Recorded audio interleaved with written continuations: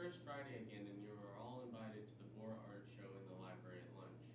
Bring your friends, bring your lunch, and come check out cool paintings, ceramics, drawings, and photography done by your very own Lions.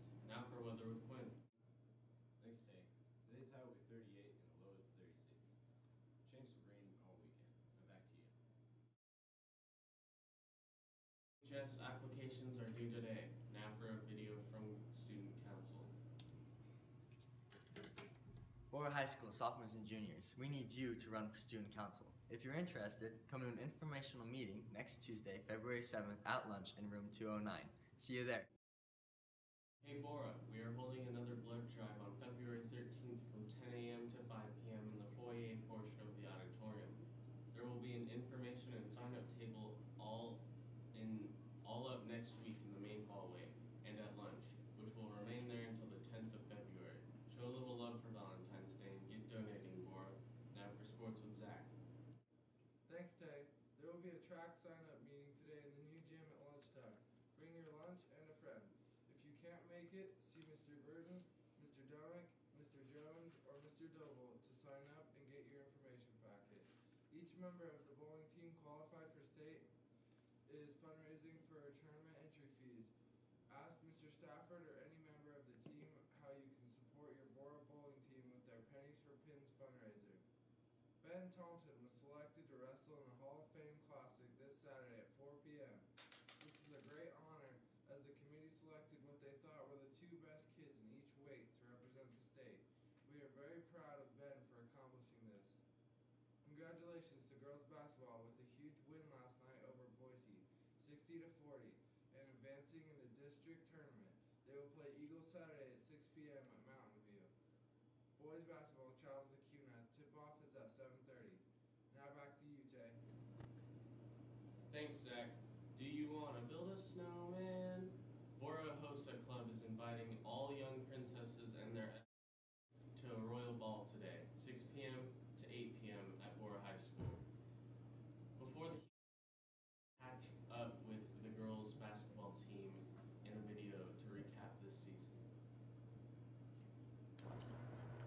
Hello, I am Tay Haverland, and I am here with members of the girls basketball team. So you guys ended at 15 and 6. What led to this great record? We just overcame adversity, we played together as a team, and we have great coaching staff that believes in us.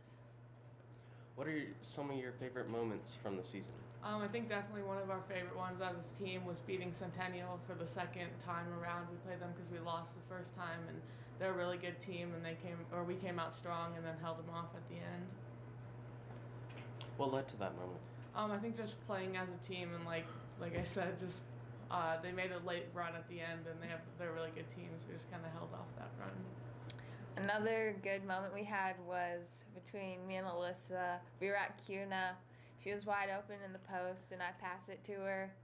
And next thing I know, I was on the ground and my shoe was off, and the ref didn't stop the play, so I had to run down the court without a shoe and play defense. And I look back, and my good pal Alicia had my big shoe in her hand and gave it to me, and I slipped it back on real quick. As you push towards state, what needs to happen to get there? We need to play together as a team and play four quarters and not take any breaks. Well, this is all the time we have. This has been Maddie, Alyssa. Shay, Kiana, Alicia. and Tay. Come support them and help them make their run towards state.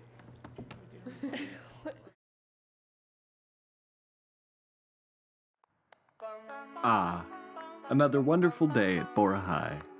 But wait, what's this? Oh, it's just Jimmy checking out a poster for the new 50s themed Sweethearts Dance. It's on February 4th from 7 to 10 p.m. in the Borah cafeteria. Now, where's Jimmy off to now? Well, it looks like he's a pretty clever guy. He's gone on down to buy himself a couple tickets. He knows that $10 for an individual and 15 for a couple is one fantastic deal. And it's certainly worth all that fun he's gonna have at the dance. Well, it certainly looks like having some tickets in his pocket put a smile on Jimmy's face. I'll bet you the kitchen sink he's thinking about the 50s theme and what he's gonna wear. Maybe he'll go as a greaser. The Sweethearts Dance from 7 to 10 p.m. in the Borah Cafeteria on February the 4th. 50s themed and ladies' choice.